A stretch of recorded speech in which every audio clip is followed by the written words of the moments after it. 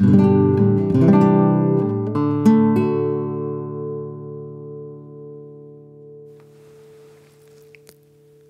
ihr Lieben und herzlich willkommen zum Einschlafen Podcast Episode 406. Ich bin Tobi, ich lese euch heute ein irisches Elfenmärchen vor und davor gibt es den Rilke der Woche.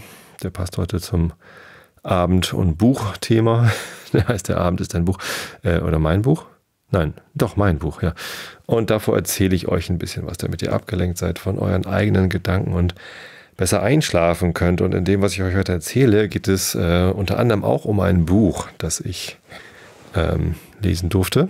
Ähm, aber bevor ich dazu komme, ein bisschen Housekeeping. Und zwar war ich heute im Fernsehen. Heute ist der 7. November 2017 und vor ein paar Tagen, genauer gesagt am Dienstag vergangener Woche, war der Jan Rimpel hier. Jan Rimpel ist ein äh, Filmemacher, also Autor und Filmproduzent. Ich weiß gar nicht, wie es genau ist. Und der ähm, wurde geschickt vom ARD-Buffet.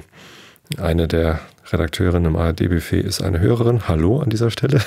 und vielen Dank für die Einladung zu diesem Filmchen. Genau, dann haben wir einen kleinen Film gemacht, so vier Minuten oder so, und der lief heute im Fernsehen. Das war das erste Mal, dass ich in der ARD zu sehen war. Ich war ja schon mal im ZDF Infokanal, oder ich weiß nicht genau, äh, bei diesem elektrischen Reporter. Da war schon mal ein Filmteam hier und dann gab es auch mal einen Fernsehbericht im WDR-Fernsehen und im Schweizer Fernsehen war, glaube ich, auch mal was Kleines oder so. Aber das war jetzt heute zum ersten Mal ARD und damit, glaube ich, die bisher größte Reichweite. Ganz aufregend. Meine Mutter hat es gesehen und hat sich natürlich erstmal beschwert, dass dieser Herr Rimpel sich einfach in mein Bett legt. hat er natürlich gefragt und ähm, ich habe ihm das gerne erlaubt, weil ich das ganz lustig fand, die Idee, ähm, dass er das ausprobiert, zu meinem Podcast live einzuschlafen. Ähm, ja, schaut es euch an. Ich habe den Link auf Facebook gepostet, findet ihr in der ARD Mediathek, wenn ihr da nach ARD Buffet sucht. Äh, die Sendung vom 7.11. ungefähr ab Minute, was war das, 24, glaube ich. 24, 20 oder so, habe ich es gefunden. Ja, das ist ganz lustig, könnt ihr mich mal sehen. Ja, und natürlich die Wollsocken sind wieder groß drin gewesen. Das war auch beim elektrischen Reporter schon so, dass irgendwie Nee, stimmt, als die, ähm, die Zeitung mal hier war, da war irgendwie ganz äh, prominent, wurden da meine Hausschuhe abgebildet. Da hatte ich auch noch andere an, da hatte ich diese, diese Strick-Hausschuhe äh, an, wo mir dann auch mal eine Strickanleitung zugeschickt wurde. ähm, ja, die sind auch gar nicht so leicht zu kriegen. Meine Mutter hat irgendwie den Kontakt aufgetan zu einer ähm, Handwerkerin in Buxtehude, die diese Hausschuhe strickt. Und ja, irgend, irgendwer von euch, von einer, einer Hörerin hat mir mal eine Anleitung zugeschickt, wie man sie selber stricken kann, aber ich kann halt gar nicht stricken. Und meine Mutter hat jetzt diese gestrickt, die heute im Fernsehen waren. Äh, die sind so Filz, Filzpuschen einfach. Ich mag einfach warme Hausschuhe. Das ist, mag ich schon ganz gerne. Und ansonsten finden sie anscheinend nichts Spannendes, was man hier zeigen könnte. Ich weiß nicht. Tja, ähm, also mir hat es Spaß gemacht, das Ding zu drehen und ich finde es auch schön geworden. Also ich fühle mich da gut repräsentiert. Der Jan hat genau die Sätze rausgesucht, die mir wichtig gewesen sind. Ja, hat gut funktioniert. Ja.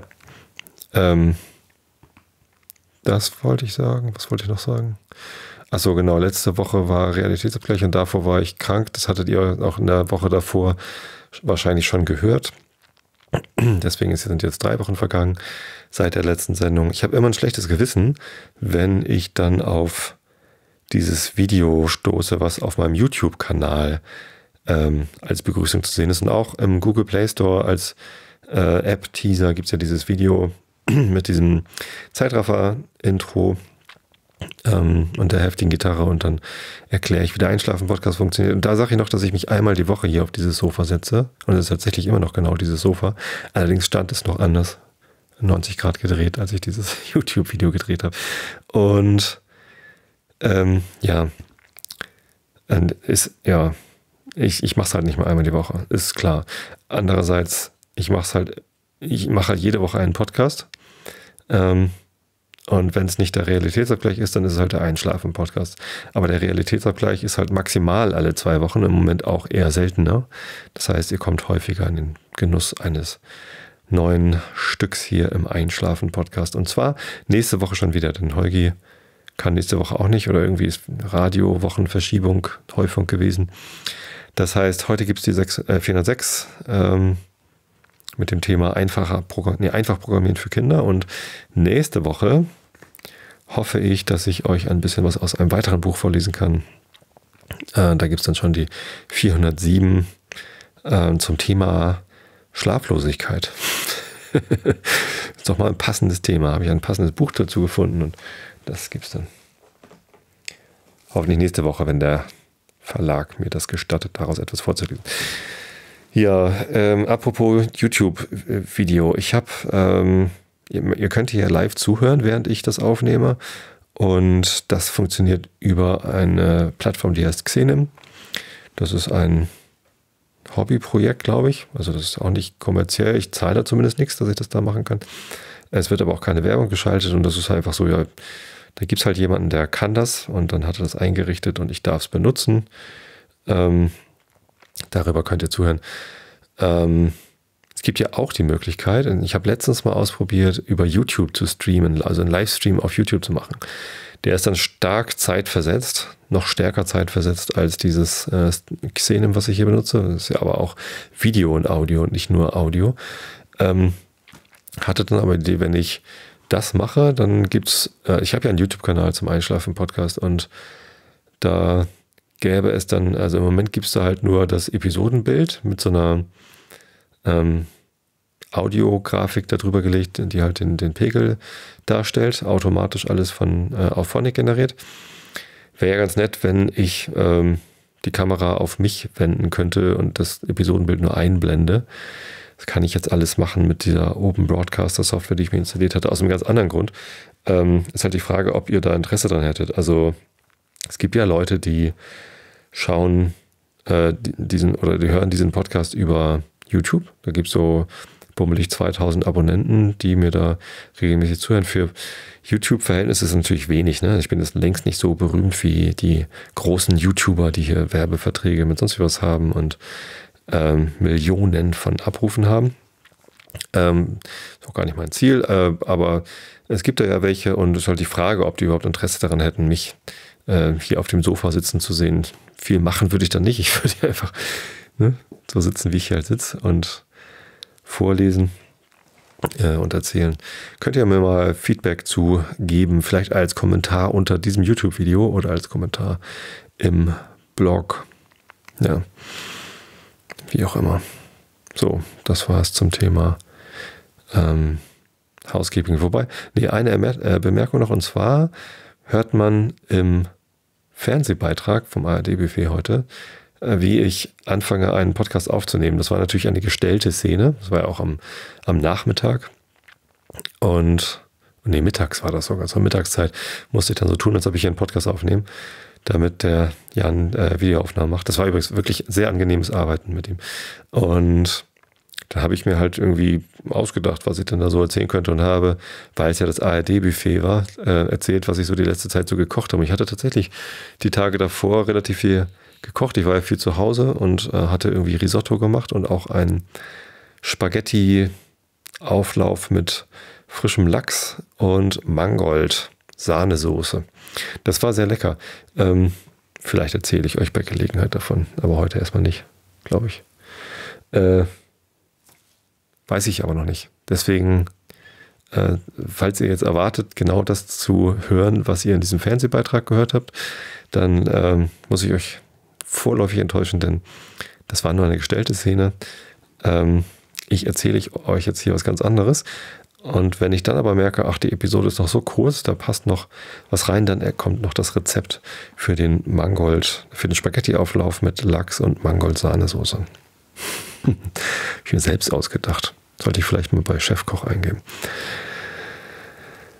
Heute geht es um das Thema Programmieren mit Kindern. Und ähm, da habe ich schon ein bisschen Erfahrung. Ich habe vor drei Jahren mal drei Doppelstunden Informatikunterricht gegeben an der Schule meiner Tochter, also in der Klasse meiner Tochter, äh, der größeren. Die war dort in der fünften Klasse und hat als Profil MINT, äh, Mathe, Informatik, Naturwissenschaft.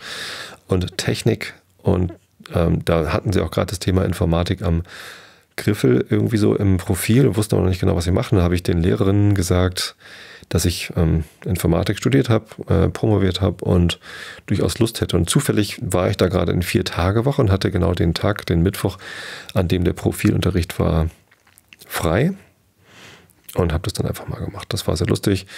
Äh, mit Code.org äh, Beispielprogramme runterprogrammiert in der Programmiersprache Scratch. Das ist so eine grafische Programmiersprache, wo man so Blöcke aneinander äh, klickt also per Drag and Drop zieht man so grafische Blöcke, wo dann If-Statements oder sonst wie was drin sind, ähm, zurecht. So, und das hat Spaß gemacht. Die Kinder haben was verstanden, die konnten was bauen. Das waren so, so kleine Spielchen, die sie dann da machen mussten. Das, hat, das, das war ganz gut.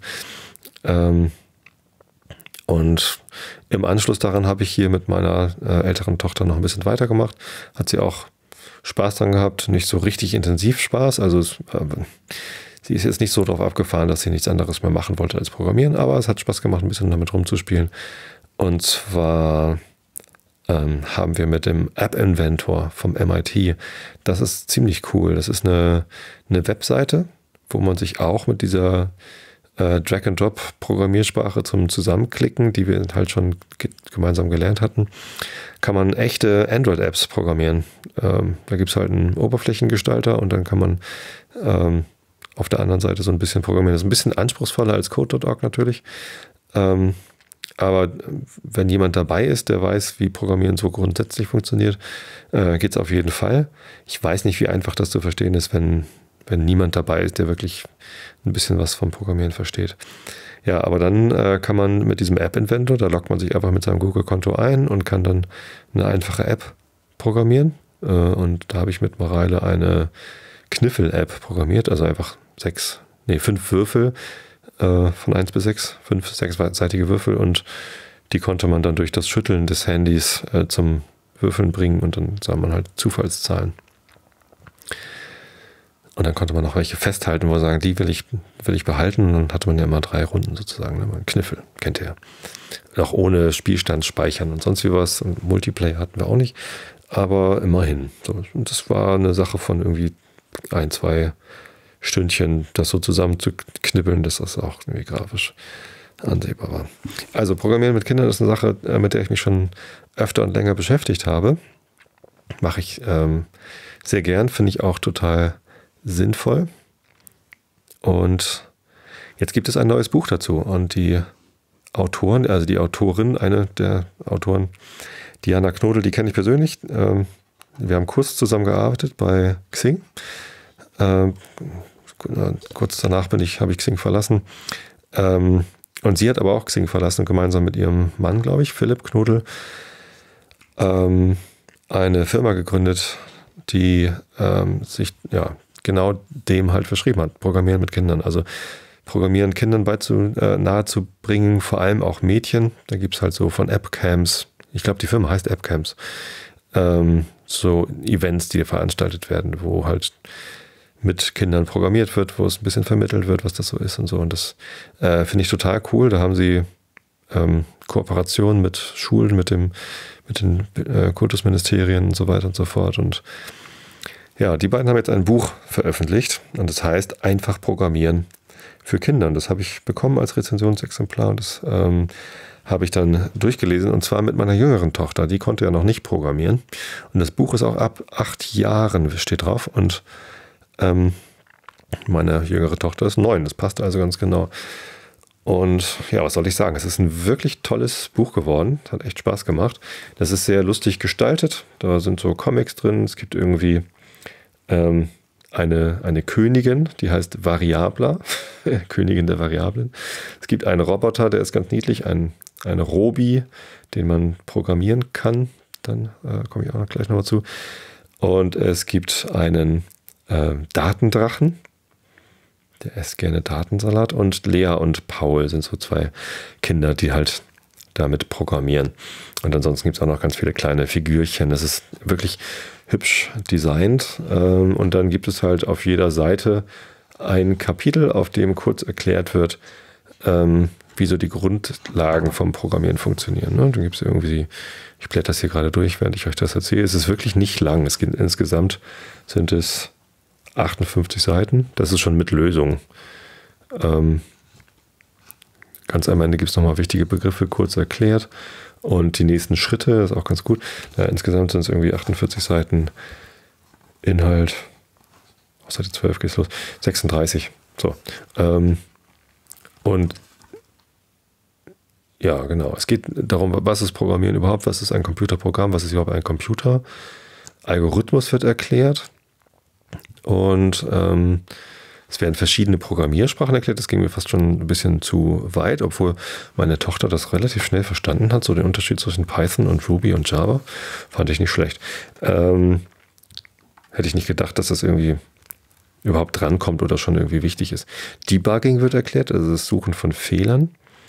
Ähm, und dann schon Ereignisse. Also äh, was passiert, wenn ne, dieses äh, wenn dann oder Event-Driven Programming, das was JavaScript, moderne JavaScript-Sachen irgendwie ausmacht, wird und das wird halt so einfach erklärt, dass ähm, Kinder das sofort verstehen. So, und dann gibt es natürlich Variablen. Ne? Wie, wie, merkt sich der Computer was in Variablen? Was gibt es für Datentypen? Zahlen, Datentypen, Integer, String und äh, Listen. Ähm, bedingte Anweisungen, äh, also if then, wenn dann und Schleifen werden erklärt. So, das, ja, und Funktionen, also das Zusammenfassen. Genau. Das sind so die Sachen, die erklärt werden. Ähm, und zu jedem Kapitel gibt es eine, eine kleine Übung in einer App. Es gibt eine extra App zu diesem Buch. Und ähm, da klickt man einfach auf die Seitenzahl in dieser App und dann kann man ein kleines Spielchen machen. Das hat Lovis natürlich richtig viel Spaß gebracht, also meiner Tochter, ähm, dass sie nach jeder, jedem Kapitel, und die Kapitel sind immer nur eine Doppelseite groß, durfte sie halt am Handy was spielen. Äh, und hat sie ganz spielerisch irgendwie ja, programmieren gelernt. Am tollsten fand sie die Aufgaben, wo sie Robi, den kleinen Roboter, programmieren konnte. Also tatsächlich in dieser App konnte man dann Anweisungen in eine richtige Reihenfolge bringen und dann äh, ist Robi da so längs gelaufen. Ich fand es ein bisschen ermüdend, ehrlich gesagt, weil Robi sehr langsam diese Schritte geht. Aber äh, Lovis hat es echt Spaß gemacht, das zu machen und auch dazu zu gucken, wie dann der kleine Roboter dann da so längs eiert. Ich finde, man hätte ihn ein bisschen schneller machen können oder einstellbar oder so. Aber es darf natürlich auch nicht wieder zu komplex sein. Und wahrscheinlich ist es ganz gut, dieses langsame Tempo zu nehmen und ähm, es eben nicht auch noch einstellbar zu machen. Ja, andere Spiele, wie zum Beispiel äh, Sortierspiele, sind relativ viele dabei. Ähm, zum Beispiel ordne diese, diese Daten, äh, diese Daten nach Datentyp. Also ist das eine, eine Zahl oder ist das eine, eine Zeichenkette? Ähm, fand ich schon recht anspruchsvoll teilweise. Ähm, manchmal auch ein bisschen eintönig. Also es wiederholt sich schon, die, die Aufgaben, aber für Kinder ist es, sind Wiederholungen ja und zum Lernen sind Wiederholungen ja wichtig. Insofern hat gut funktioniert. Lovis hat es sehr gut gefallen. Ja. Ähm, genau, so, so ist das Buch aufgebaut. Wir haben das in, nicht in einem Rutsch, aber so in, in, in drei, vier Sessions haben wir das irgendwie durchgenommen, das Buch, ähm, weil ich es vor allem auch abends zum Vorlesen gemacht habe. Ähm, zum Einschlafen. Ich lese ja meinen Töchtern manchmal immer noch zum Einschlafen vor und da kam eben auch dieses Buch. Äh, das Ende haben wir dann nicht zum Einschlafen gemacht, weil wir dann äh, noch was Tolles hatten. Und zwar ähm, ganz schön ist, dass am Ende des Buches eben die nächsten Schritte erklärt werden, was, was kann man denn jetzt machen. Und da werden hier ähm, ja, Programmiersprachen Scratch und Open Roberta und eben auch der App-Inventor empfohlen. Der App-Inventor wird hier aber ab 13 Jahren empfohlen, sehe ich gerade. Okay. Und Code.org geht sogar schon ab sechs Jahren. Kann man da äh, sich durchklicken durch die Sachen. Genau. Und was ich aber noch hier liegen hatte, schon seit längerem und was ich meiner Tochter noch gar nicht geschenkt hatte, war ein Calliope Mini-Computer. Da war ich beim Crowdfunding dabei, irgendwie über Start Next oder irgendwas gab es eine Crowdfunding-Aktion zu Calliope. Das ist ein kleiner Mini-Computer auf einer kleinen Platine, ich glaube auf Arduino-Basis, ähm, mit so ein paar Sensoren und einem kleinen Display, also so ein Multisegment-Display, zwei Leucht, nee, drei Leuchtdioden, zwei rote und eine mehrfarbige. Ähm, und ja, sogar Bluetooth-Konnektivität ist da drauf. Und so ein ganz kleines sternförmiges Ding. Ähm, und das kann man eben auch programmieren, also auch indem man äh, online auf einer Webseite mit einem Editor sich äh, so ein paar Blöcke zusammenzieht. Da ist dann eine Bibliothek, was dieses Calliope-Ding so alles kann. Ähm, und äh, da ist es sehr, sehr einfach, dieses, diesen Minicomputer zu programmieren und dann äh, ja eben eine Batterie anzuschließen und dieses Programm auch unabhängig davon laufen zu lassen. So und dann, als wir das Buch dann durch hatten, habe ich ihr dieses Ding gezeigt und die war völlig aus dem Häuschen und dann äh, haben wir uns auf diese Webseite gestürzt, wie man da, das jetzt programmieren kann. Dann hat sie gesehen, oh, das kann ja sogar Sound ausgeben, ist ein kleiner Lautsprecher drauf und äh, schwuppdiwupp hatte sie aus diesem Calliope Mini ein Metronom programmiert. Ne, das war äh, hat sie irgendwie ein bisschen irgendwie, guck mal, hier kommt Sound raus, bip, bip, bip hat es gemacht und ach, das klingt wie ein Metronom. Und dann hat sie so ein Metronom programmiert, wo halt irgendwie ein Viervierteltakt rauskam und sie noch mit den Knöpfen da drauf die Geschwindigkeit einstellen konnte. Und das ging halt ratzfatz. Hat ihr wahnsinnig viel Spaß gemacht. Und ähm, das war ja sogar sinnvoll. Ich meine, sie lernt Klavier spielen, hat ein Metronom oben drauf stehen, das macht halt nur klack, klack. Das ist halt ein mechanisches Metronom. Ähm, und jetzt hat sie sich halt ein Metronom programmiert, das ein bisschen anders funktioniert, was er halt eigentlich selbst programmiert hat. Ist natürlich irgendwie äh, eine erste Übung, aber man merkt gleich so, Programmieren macht Spaß. Programmieren ist eine Sache, die man hat, man entdeckt eine Aufgabe, die man hat, eine, eine Sache, die man gerne lösen würde und dann programmiert man was und dann hat man es gelöst und dann hat man etwas Nützliches geschaffen. Wie hoch jetzt der Nutzwerk von, Nutzwert von einem neuartigen Metronom ist, sei mal dahingestellt. Aber also sie nutzt es jetzt auch gar nicht als Metronom, sondern übt halt einfach so Klavier. Sie spielt auch noch nicht viel zum Metronom, deswegen brauchst du nicht. Aber ähm, so funktioniert das halt. Das ist irgendwie ganz, ganz lustig, diesen Anreiz wiederzuerkennen, weil ich habe ja auch also gerade wenn man Open Source programmiert, als ich damals noch viel Open Source Programmierung mitgemacht habe, da, man macht halt was, was einen selbst reizt, wo man selbst ein Problem lösen möchte. Und dann, wenn man es dann gelöst hat, ist man glücklich und hat irgendwie die Welt verbessert. Deswegen ist Programmieren schön. Es ist halt eine, ich, ich finde es eine tolle Tätigkeit. Man bringt einen Computer dazu, etwas zu tun, äh, was man von ihm möchte. Und darüber hinaus bin ich mir ziemlich sicher, dass Programmieren nicht nur Spaß bringt, sondern Programmieren auch eine ähm, absolut sinnvolle Berufswahl ist. Auch wenn man nicht alles zum Beruf machen sollte, was einem Spaß bringt. Aber ich sehe das in der Branche, dass ja, es einfach immer einen riesengroßen Bedarf an Programmierern gibt und ähm, der wächst in Zukunft eher, als dass er sinkt. Hm, Thema Digitalisierung ich auch letztens mit einem Freund darüber gesprochen, der so ein bisschen im Mittelstand aktiv ist und eigentlich äh, ein CMS, also Content Management System für, für Webseiten, für Mittelständler entwickelt hat. Und ähm, der hat halt viel Kontakt zu Leuten im Mittelstand und die sind halt, also das sind Leute, die äh, die Digitalisierungswelle jetzt gerade trifft. Ich bin immer so ein bisschen irritiert, wenn es irgendwie heißt, ja, Digitalisierung, äh, das ist jetzt der große neue Trend.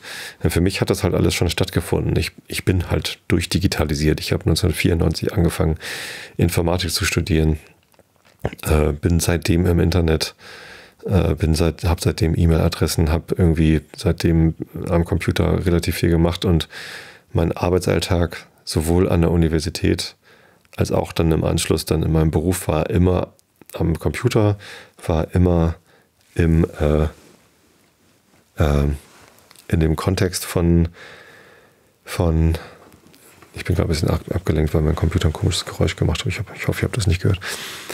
Ähm, Im Kontext von, von, von Computern und Digitalem. Und das ist halt für mich vollkommen selbst, selbstverständlich. Ne? Das irgendwie dass man selbst, also das, digitale Medien sind für mich vollkommen selbstverständlich. Ich fühle mich als Digital Native, wahrscheinlich Digital, äh, ich weiß gar nicht, Father oder so, weil ich da halt irgendwie mit ähm, von Anfang an mit dabei war. Ne? Digital Natives sind ja die, die in die digitale Welt hineingeboren worden sind, also eher jüngere Leute.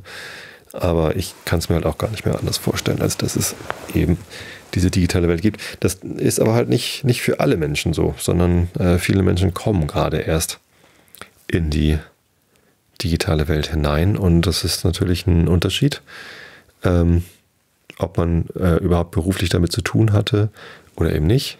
Und ähm, ja, das, das ist eine Sache, die, die nimmt gerade wahnsinnig viel Fahrt auf, denn es geht nicht nur darum, dass diese ganzen Mittelständler und Unternehmen, die sich jetzt digitalisieren, dass die Webseiten bekommen. Das ist ja auch eine einfache Sache. Ich meine, kann man sich auch einfach online einen Account klicken irgendwo, WordPress oder was, und dann hat man eine Webseite. Das, nichts ist leichter, als eine Webseite zu erstellen heutzutage.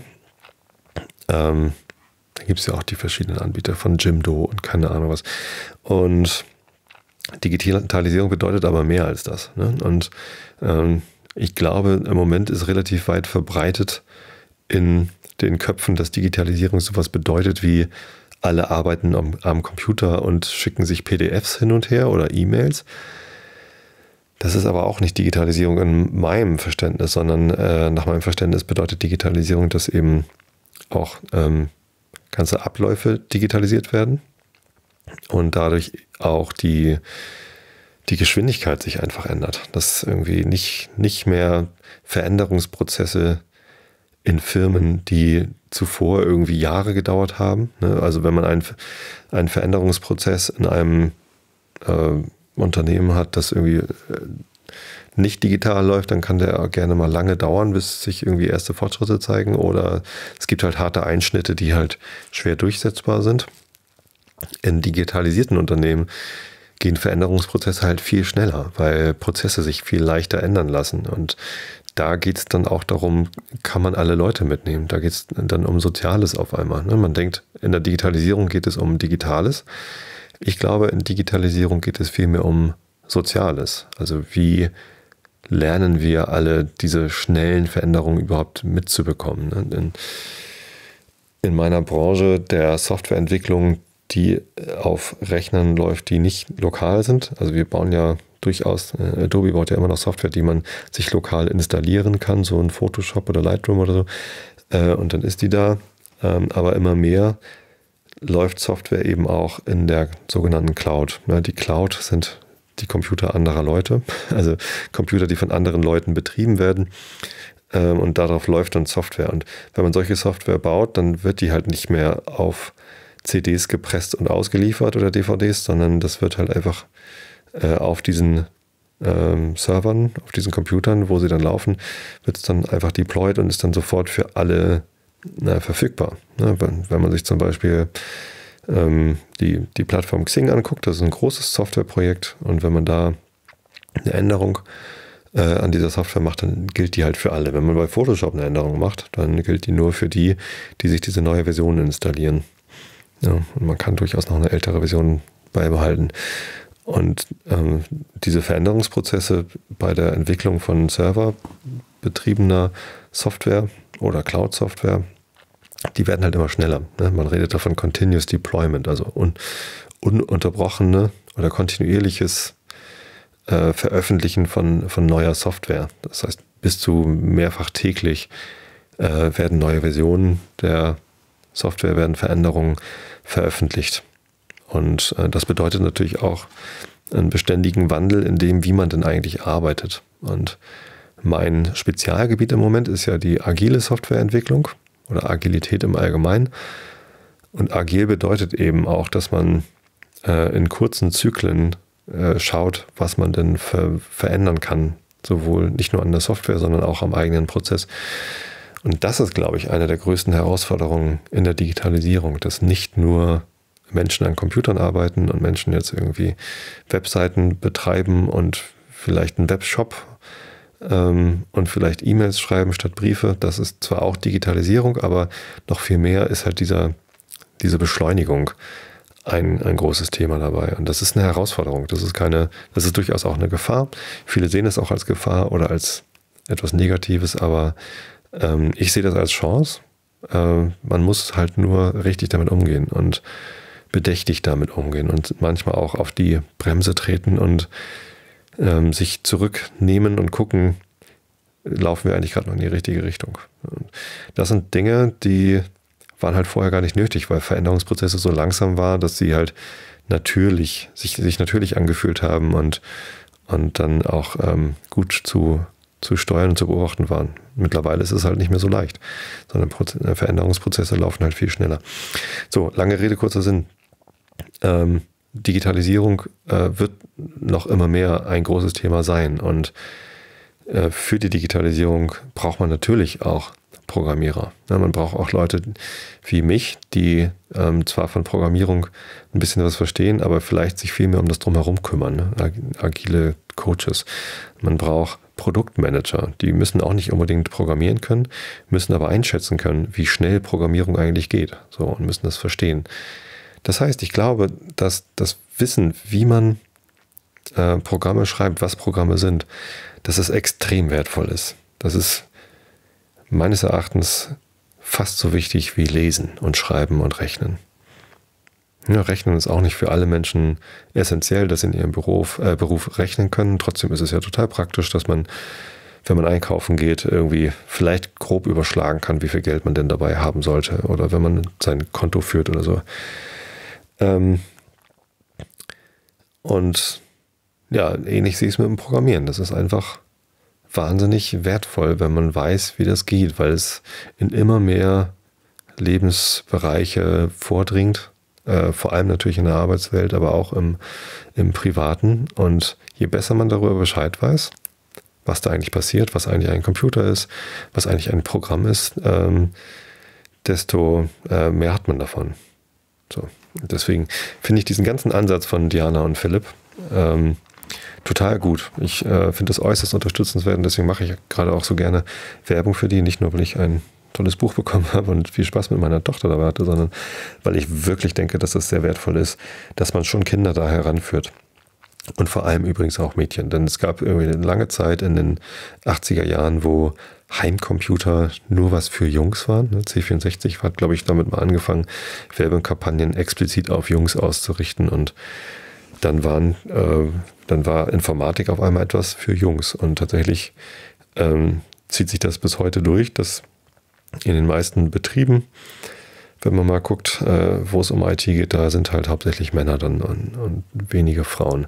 Halte ich für einen großen Verlust, denn das beste Team, in dem ich je gearbeitet habe, war mein Team bei Xing. Da hatten wir, also ausgenommen von äh, dem Interaction Designer und mir, also den beiden Produktmenschen, waren da drei Männer und drei Frauen, die gemeinsam gearbeitet haben. Und ähm, diese Diversity war, also das war, okay, das waren auch einfach tolle Leute, vielleicht waren es auch einfach gute Programmierer und ich hatte halt Glück, äh, eine gute Testerin. Ähm, aber ich, man merkte auch, dass die Diversity, die da zusammenkommt, einfach wahnsinnig wertvoll ist. Und ähm, es gibt überhaupt keinen Grund, dass Programmieren eine Männerdomäne sein sollte. War sie früher übrigens auch nicht. Ich meine, die erste Programmiererin war eben eine Frau und kein Mann. Wer ist ja ein erster Programmierer gewesen? Also Ada Lovelace. Und ähm, das ähm, ja, ist halt eine, hat ja nichts mit, mit körperlichen, also ich weiß nicht, Männer haben vielleicht eine, eine, eine stärkere körperliche Konstitution und können irgendwie mehr Muskeln aufbauen. Braucht man aber gar nicht zum Programmieren. Man muss nur äh, klar denken können. Und das können Frauen genauso gut wie Männer. Insofern bringt es euren Töchtern nah. Also ich mache es zumindest. Ähm, und wenn ihr junge Frauen seid und noch nicht wisst, was ihr machen wollt, ähm, lernt Programmieren. Ist echt nicht schwer. So, die, der Einstieg kann man übrigens auch als Erwachsener mit diesem Buch machen. Einfach Programmieren für Kinder. Ähm, weil die es wirklich für eine sehr, also ist halt auch sehr umfassend. Man lernt, was ein Programm ist, man lernt, was Variablen sind. Man lernt natürlich nicht, wie Datenbanken gestaltet werden oder so. Das ist, das kann man ja auch später lernen. Das braucht man aber auch nicht für den Einstieg. So, ne? Das reicht vollkommen aus, wenn man erstmal weiß, was ist eine Variable, da kann ich dann was drin speichern. Man lernt, was eine Bedingung ist, aber ähm, man muss ja auch nicht in jeder Sprache rauf und runter beten können, wie jetzt die geschweiften Klammern auf und zugehören, sondern es reicht ja aus, wenn man in Scratch irgendwie sich eine Bedingung zusammenklicken kann. Ich habe verstanden, okay, es gibt ein if, es gibt ein else und ja, das war's dann. So, und äh, Schleifen sind halt auch wichtig so. Und es gibt natürlich noch viel mehr. Ich, ich finde es schon ganz toll, dass hier ähm, Ereignisse noch mit drin sind im Buch. So diese ähm, Event-Listener sozusagen, äh, weil die auch einfach wahnsinnig wichtig sind auf dynamischen Webseiten und in Apps. Äh, Gab es früher halt einfach. Also als ich noch Programmieren gelernt habe, da hat man prozedural Programmieren gelernt und funktional Programmieren gelernt. Ähm, und die Event-driven, also die, die ereignisgetriebene Programmierung, die kam dann halt später mit, mit JavaScript und ECMAScript und so. Da hat man das dann irgendwie weiter verinnerlicht. Ähm, das, das war schon neu für mich, als es das dann gab. Äh, und auch schwierig zu verstehen, weil, der, weil die Programmabläufe einfach nicht mehr ähm, so, so klar durchschaubar waren. Tja, und das kommt hier schon mit drin vor. Deswegen, ich, ich finde es echt toll gemacht. Es gibt natürlich noch tausend andere Wege, wie man programmieren lernen kann. Ähm, aber also ich, diesen App Inventor kann ich auch wirklich nur schwerstens empfehlen. Ne? Wenn, wenn ihr ein Android-Smartphone zu Hause habt, könnt ihr die Apps, die ihr da programmiert, auch direkt auf dem Android-Telefon ausprobieren. Das macht halt einfach einen, einen Heidenspaß. Tja, so viel dazu. Glaube ich. Habe ich alles dazu erwähnt. Ich gucke mal auf die Uhr. Jo, red auch schon wieder eine ganze Zeit, ne? Ich, ich habe es jetzt angekündigt. Ich erzähle euch trotzdem noch kurz das Rezept für diesen äh, Spaghetti-Auflauf. Das wäre ja sonst gemein gewesen. Und zwar habe ich Mangold gehabt. Also wir haben Mangold gehabt. Wir haben so eine Gemüsekiste, ein, ein Gemüseabo von einem Biohof. Die bringen uns alle zwei Wochen eine Kiste mit ausgewähltem Biogemüse äh, also nicht von uns ausgewählt, sondern von denen halt, was gerade so da ist. Im Winter halt oft mal Kohl und im Frühling, also saisonales Gemüse. So, jetzt haben wir im Kühlschrank noch Mangold gehabt. Mangold ist ja so ähnlich wie Spinat, so ein bisschen. Ähm, essen wir halt auch ganz gern. Ist zumindest nicht, nicht giftig in den Augen der Kinder. Aber lag halt noch irgendwie rum und wurde schon so ein bisschen trocken. Ja, hm, was machen wir jetzt damit? Ähm, und ich mag Mangold ganz gerne so als, als Sahnesoße, ne? so klein geschnitten und dann irgendwie zur Sahnesoße. Äh, und dann mit, mit, mit Nudeln vielleicht so, war so die Idee. Und dann hatte ich aber noch irgendwie Lust auf Fisch. Und wir haben bei unserem Edeka im Nachbarort, bei Edeka Schreiber in Spritze, eine neue Fischtheke. Früher war da immer nur draußen irgendwie freitags, glaube ich, so ein Fischwagen.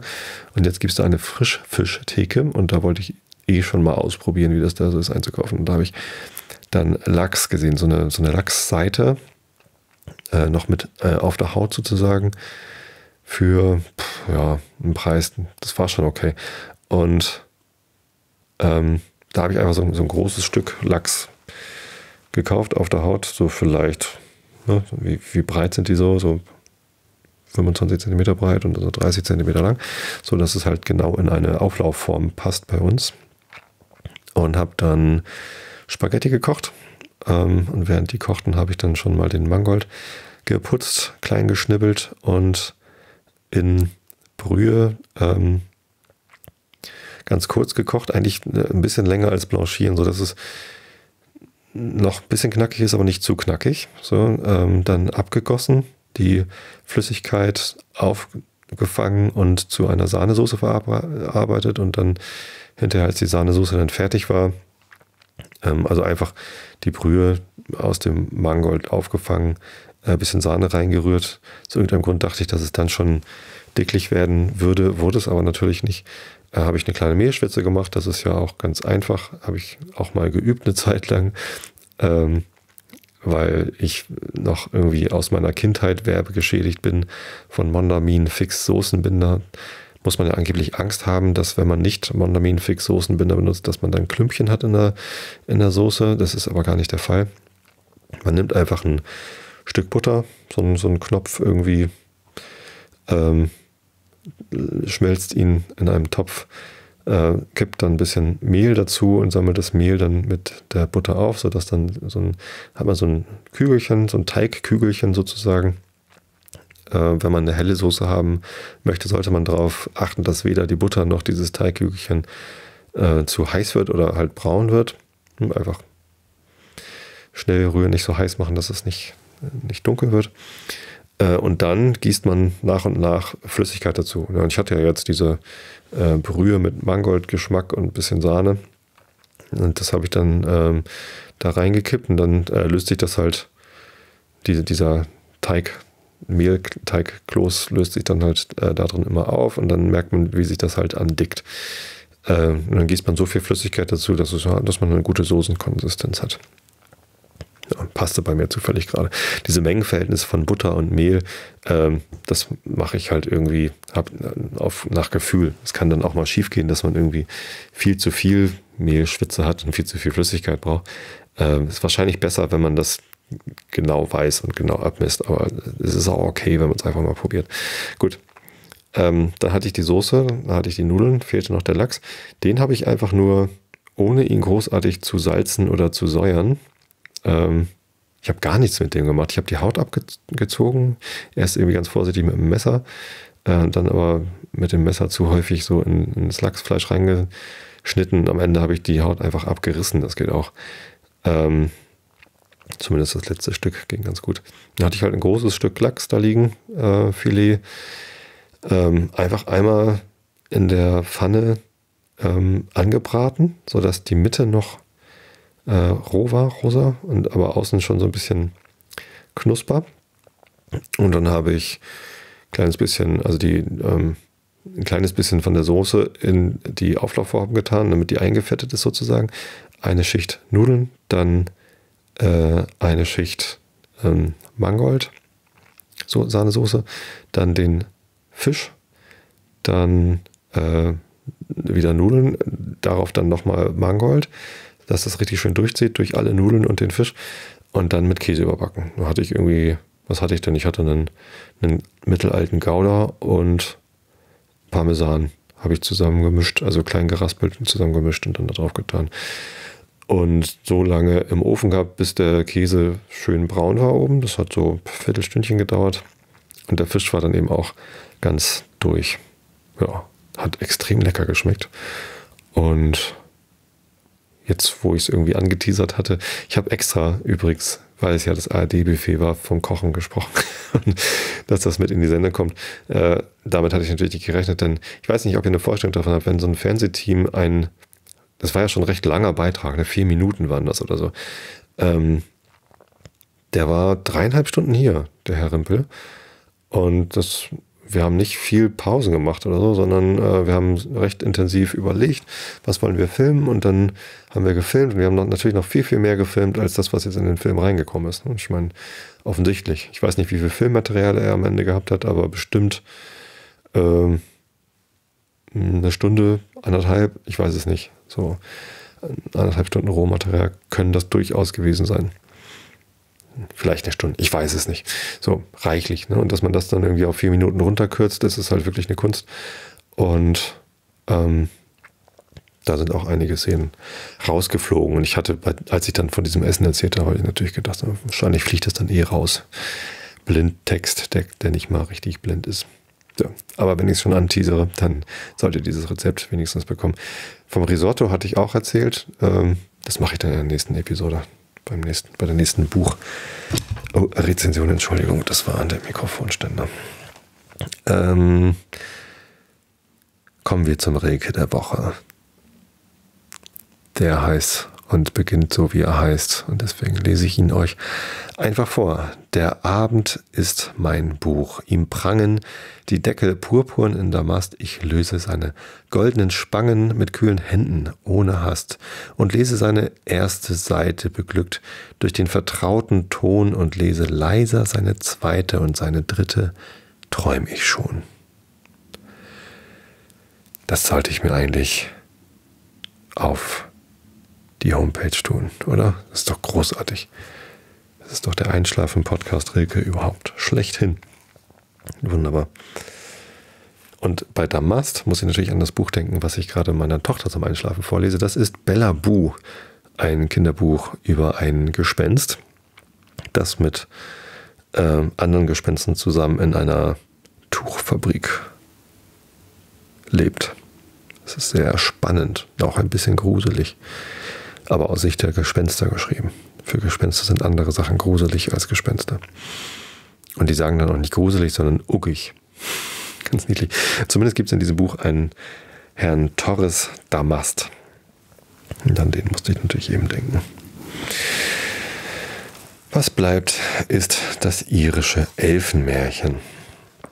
Und ich hatte einen großen Spaß daran, den Episodentitel für diese Episode mir auszudenken, der da lautet Programmieren für Kinder und Elfen.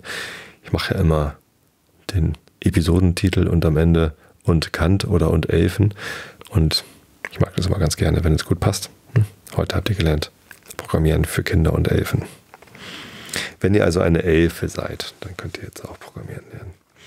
In diesem Elfenmärchen geht es allerdings äh, jetzt weiter. Irische Elfenmärchen in der Übertragung der Brüder Grimm. Wir sind auf Seite 235 angekommen. Es beginnt ein neuer Abschnitt, das Land der Jugend. Und wir sind beim 23. Elfenmärchen namens Springwasser. Augen zu und zugehört. Wenn man aus der Stadt Kork geht, unweit der Galgenwiese, liegt ein großer See, auf dem sich winters das Volk mit Schlittschuhlaufen ergötzt, aber die Lust über dem Wasser ist nichts im Vergleich mit der, die darunter ist, denn auf dem Boden dieses Sees stehen Gebäude und Gärten, die prächtigsten, die man je gesehen. Wie sie dahin kamen, hat sich folgendermaßen zugetragen. Lange bevor ein sächsischer Fuß irischen Grund betrat, lebte ein großer König namens Kork. Sein Schloss stand da, wo jetzt der See ist, in einer grünen, meilenbreiten Aue. Mitten im Burghof befand sich ein Springbrunnen, so reinen klaren Wassers, dass es ein Wunder war. Der König freute sich auch nicht wenig, eine solche Merkwürdigkeit an seinem Schlosse zu besitzen. Sag mal, habe ich euch das nicht schon vorgelesen? Das, der König feiert ein Fest und am Ende äh, soll der Prinz irgendwie Wasser holen? Doch, das habe ich heute schon vorgelesen. Kam mir irgendwie bekannt vor. Genau, König und die Gäste ertranken nicht. Das habe ich auch schon vorgelesen. Oder ich träume gerade. Achso, vielleicht habe ich das in der, in der Kindle-App vorgelesen. Jetzt habe ich das Buch hier wieder zu fassen. Ich muss das irgendwie, das muss ich mal richtig synchronisieren. Ähm, Sei es drum, ich lese euch einfach das 24. Elfenmärchen vor. Das klang eben so schön souverän, wie ich euch das angemoderiert habe. Ne? Egal, ich schneide hier ja nichts. Wie ihr alle wisst, ist das hier äh, ein, quasi ein Live-Podcast. Ich äh, drücke Aufnahme, spreche diese, ähm, diese Podcast-Episode ein und drücke am Ende wieder Ende und dann bekommt ihr einfach alles. Der Grund dafür ist, dass wenn ich das äh, noch bearbeiten müsste, erstens hätte ich die Zeit dazu nicht. Das ist nämlich viel Arbeit, so einen Podcast nachzubearbeiten. Zweitens wären die Episoden viel kürzer und ich weiß, dass ihr gerne längere Episoden mögt. Und drittens wäre es dann nicht mehr so authentisch. Ne, wenn ich diese ganzen Ams und Schmatzer und alles rausschneiden würde und solche Dinge, wie sie gerade eben passiert sind, dann wäre es halt nicht so authentisch, wie es jetzt ist. Und ich glaube, dass es genau dadurch so gut funktioniert. Hm. Oder ich rede mir das nur ein, damit ich die Arbeit nicht habe. okay, ich lese euch vor, der See Korib, das 24.11. Märchen, ab Seite 238. Jetzt aber Augen zu und zugehört. Nicht weit von dem See Corrib in der Grafschaft Galway lebte ein junges Paar, Cormac und Marie, die sich zärtlich liebten und deren Glück nichts im Wege zu stehen schien. Und auch das kommt mir schon wieder so bekannt vor. Was ist denn hier los?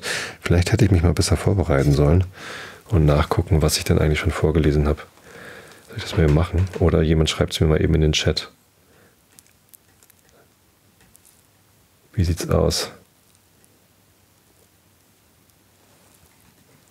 Lieber ähm, da ist der Einschlafen-Podcast. Ich kann mal eben gucken, bevor ich jetzt, wann habe ich zuletzt Elfen vorgelesen? 404, Numerologie, Internet und Elfen. Steht leider nicht dran an der Episode. Doch da, der See Korib. Habe ich auch schon vorgelesen. Sag mal, habe ich vielleicht einfach das Lesezeichen falsch eingelegt? Ja, gut, aber jetzt weiß ich es. Vielen Dank an Mo für die äh, für die Shownotes, aus denen ich gerade entnommen habe, dass das letzte Elfenmärchen, das ich vorgelesen habe, genau der See Korib war. Jetzt kommt also das 25. Elfenmärchen, Seite 240. Und ähm, ich glaube, das hatte ich noch nicht. Es heißt, die Kuh mit den sieben Fersen. Augen zu und zuhört. Lorenz Cotta besaß ein kleines Gut in der Gegend von dem See Gur und gedieh dabei, denn er war ein guter und fleißiger Mann, der bis, zu, bis an seinen Tod still und ruhig darauf gelebt haben würde, wenn ihn nicht ein Unglück betroffen hätte, von dem ihr sogleich hören sollt. Nah am Wasser gehörte ihm ein feines Stück Wiesenland, wie man es sich nicht besser wünschen kann, um dessen Ertrag er aber schmählich gebracht wurde, und niemand konnte sagen, durch wen. Ein Jahr um das andere fand es sich immer auf dieselbe Weise zugrund gerichtet. Die Einfriedung war im gehörigen Stand und kein Grenzstein verrückt. Des Nachbars Vieh konnte keinen Schaden gestiftet haben, denn es war gekoppelt. Aber wie es nun geschehen mochte, das Gras auf der Wiese wurde zu großem Verluste Lorenz völlig verdorben. Was in der weiten Welt soll ich nur anfangen, sagte Lorenz Cotter zu Thomas Welch, seinem Nachbar, einem ehrsamen Mann. Das bisschen Wiese, wofür ich schwere Abgaben entrichten muss, bringt mir so viel wie nichts ein, und die Zeiten sind bitter schlecht genug. Sie brauchten nicht noch schlimmer zu werden. Ihr redet wahr, Lorenz, versetzte Welsh. Die Zeiten sind bitter schlecht, aber ich glaube, wenn ihr bei Nacht wachen wollt, ihr könnt bald dahinter kommen. Michael und Dieter, meine beiden Jungen, sollen mit euch wachen. Es ist zum Erbarmen, dass ein so ehrlicher Mann wie ihr seid auf so schimpfliche Weise zugrunde gehen sollte. Diese Übereinkunft gemäß nahmen die folgende Nacht Lawrence Cotter und Welshs beiden Söhne ihren Posten in einer Ecke der Wiese. Es war eben Vollmond, der sein Licht über den ruhigen See ergoss. Kein Wölkchen war am Himmel zu sehen, kein Laut zu hören, als der Schrei der Wachteln, die sich einander über das Wasser hin zuriefen. Jungen, Jungen, sagte Lorenz, schaut auf, schaut auf, aber ums Leben macht kein Geräusch und rührt euch keinen Schritt, bis ich das Wort sage. Sie schauten und sahen eine dicke, fette Kuh in Begleitung von sieben milchweißen Fersen über die glatte Fläche des Sees sich nach der Wiese zu bewegen. Das, das ist nicht Tim Dwyers, des Pfeifers Kuh, die sich alles Fleisch von den Knochen getanzt hat, flüsterte Michael zu seinem Bruder. Oder Michel, eher, ne? Da ist, ist kein A in dem Namen. Ihr Jungen, sprach jetzt Lawrence Cotter, der die saubere Kuh mit ihren sieben Fer weißen Fersen schönstens auf der Wiese angelangt sah, sucht mir zwischen sie und den See zu kommen. Wir wollen sie geradezu in den Pfandstall treiben, gleich viel wem sie gehören. Die Kuh musste aber diese Worte vernommen haben, denn augenblicklich wendete sie sich in größter Eile zu dem Ufer des Sees und sprang hinein, vor ihrer aller Augen. Hinter ihr liefen die sieben Fersen, doch die Jungen gewannen ihn den Vorsprung ab und hatten große Mühe, sich von dem See weg zu Lawrence Cotter hinzutreiben. Lawrence trieb die sieben Fersen in den Pfannstall. Es waren prächtige Tiere, und nachdem er sie da selbst drei Tage lang gehalten hatte, ohne dass sich ein Eigentümer meldete, so nahm er sie heraus und brachte sie auf eines seiner Grundstücke. Sie wuchsen und gediehen mächtig, bis in einer Nacht des Gatter offen gelassen wurde und des Morgens die sieben Fersen fort waren. Lawrence konnte nichts wieder von ihnen in Erfahrung bringen und ohne Zweifel waren sie in den See zurückgegangen. Woher sie nun kamen und welcher Welt sie zugehörten, Lawrence bekam ihretwegen kein Helmchen Gras mehr von der Wiese. Aus Verdruss gab er sich ans Trinken und der Trunk, sagt man, hat ihn getötet. Na, Alkohol ist schon gefährlich. Gut, jetzt haben wir es aber. Ein ganzes Elfenmärchen, wenn auch ein kurzes. Ich wünsche euch allen eine gute Nacht. Schlaft recht gut. Schlafen ist gesund. Schlafen ist sehr wichtig für den Körper zum Regenerieren und für den Geist, um zur Ruhe zu kommen. Ah, und in diesem Sinne hört ihr uns, hören wir uns nächste Woche schon wieder. Ich danke an dieser Stelle nochmal Mo für die Shownotes für diese Sendung und Pia für das wunderbare Episodenbild, in dem sie Scratch-Elemente angeordnet hat. Sieht fast aus wie das ähm, Logo von Stack Overflow, der wichtigsten Webseite für Programmierer. also, gute Nacht, ihr Lieben. Hab euch alle lieb. Bis zum nächsten Mal.